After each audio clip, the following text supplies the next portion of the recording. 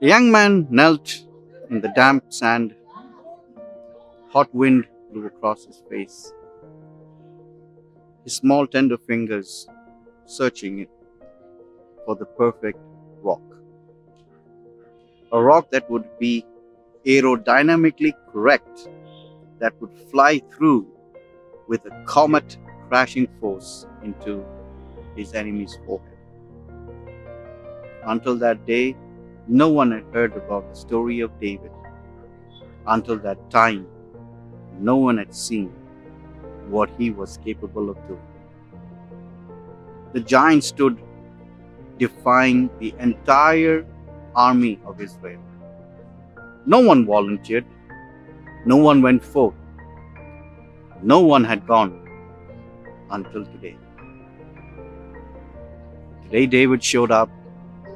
He had come to see his brothers, but he heard the defiance and he said, I am going. And he went down into that valley with the five stones neatly stacked up in his pouch.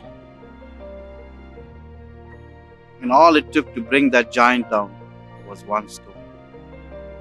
Today, you might be in the same problem. You might be facing a giant that is so large, according to you. You might be facing a problem that everyone seems to have given up on. Everyone except your God. Jesus today stands for you and for me. Let Him take over the problem. Let Him take over and grant you a solution that is beyond your expectation.